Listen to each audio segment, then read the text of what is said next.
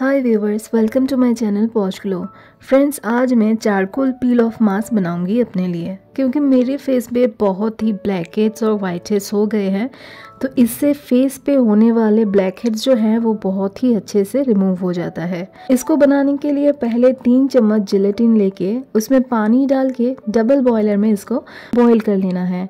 दूसरा और एक तरीका है, इसको आप मेल्ट कर सकते हैं। आप इसमें गर्म पानी डाल के इसको कुछ देर के लिए चला के इसको ऐसे ही छोड़ दीजिए। इससे क्या होगा, ये जो जेलेटिन है, वो मेल्ट हो जाएगा। तो आपको जो अच्छा लगे आप उसी तरीके से इसको मेल्ट कर सकते हैं। लेकिन मैं इसे डबल बॉयलर में मेल्ट करूँगी। 10 से 15 मिनट के बाद ये जो जिलेटिन है, ये मेल्ट होके रेडी है। अभी इसमें मैं डालूँगी एलोवेरा जेल दो चम्मच। एलोवेरा जेल से आपका जो स्किन है, वो जिलेटिन की वजह से जो ड्राई हो जाता है वो आपका नहीं होगा। फिर इसके बाद आपको डालनी है एक चम्मच चारकोल पाउडर। क्योंकि मैं चारकोल पील ऑफ़ मास्क बना रही हूँ तो इसमें आपको चारकोल पाउडर तो डालना ही है। आप चाहे तो जिलेटिन के बदले किसी भी कंपनी का जो पील ऑफ़ मास्क है, आप यहाँ पे यूज़ कर सकते हैं। बस अभी इन इंग्रेडिएंट्स को अच्छे से मिला देना है। इसको मिक्स कर लेने के बाद आपको पाँच मिनट के लिए इसको ऐसे ही छोड़ देना है। फिर आपको इसको अपने फेस पे अप्लाई करना है। इसको अप्लाई करने से पहले आपको याद रखना पड़ेगा कि आपका जो फेस है, वो अच्छे तरीके से क्लीन होना चाहिए। क्लीन ब्रश की मदद से आपको इसको अपने पूरे फेस पे अप्लाई कर लेना है। आपको ये अप्लाई करते समय ध्यान रखना है कि आपके आईब्रोज और आपके बालों में ये नहीं लगना चाहिए, क्योंकि अगर लगेगा तो आपको निकालने में आपको बहुत ही प्रॉब्लम आएगी, इसीलिए इस चीज़ को आपको ध्यान रखना है। देखिए, मैं बारी बारी पूरे फेस पे इसको अप्लाई कर रही हूँ।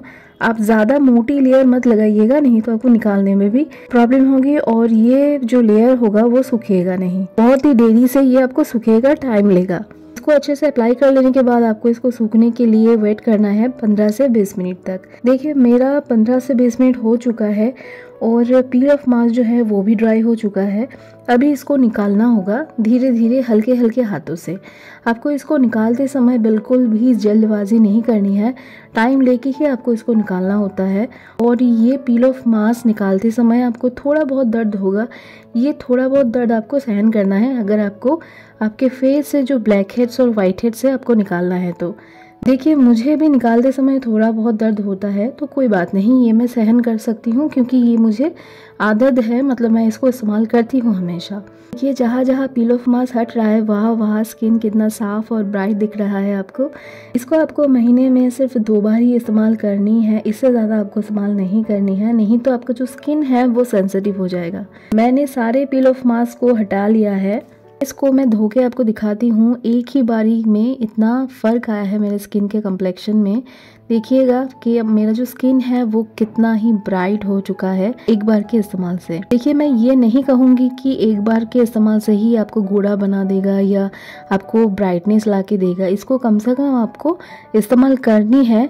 जितना मतलब महीने में दो बार या एक बार आपको इस्तेमाल ज़रूर करनी है। यह आपके फेस के ओपन पोर्स को भी क्लीन करता है और सन टैन को भी रिमूव करता है। इसके कई बार के इस्तेमाल से आपको बहुत ज़्यादा फ़र्क ज़रूर दिखेगा।